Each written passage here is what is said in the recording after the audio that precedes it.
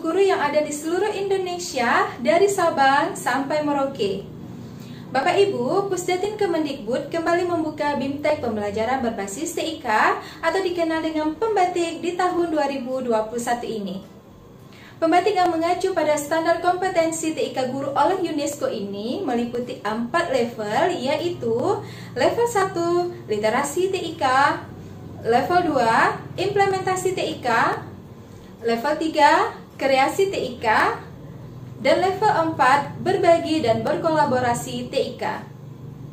Dengan mengusung tema berbagi dan berkolaborasi belajar bersama di portal Rumah Belajar, Pusdatin Kemendikbud mengajak seluruh guru di Indonesia untuk mensukseskan pembatik tahun 2021 dan dapatkan banyak keuntungan. Apa saja keuntungan mengikuti pembatik tahun 2021? Yang pertama, meningkatkan kompetensi TIK guru. Yang kedua, mendapatkan sertifikat berskala nasional pada setiap levelnya. Dan yang ketiga, berkesempatan menjadi duta rumah belajar. Siapa saja yang dapat mengikuti pembatik tahun 2021?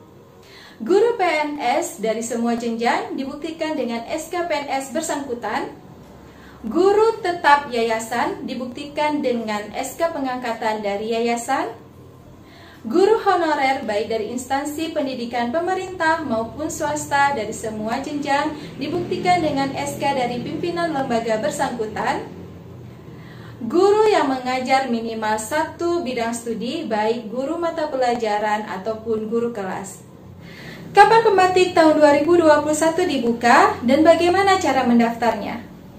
Bapak Ibu, pembatik tahun 2021 dibuka pada tanggal 15 April 2021.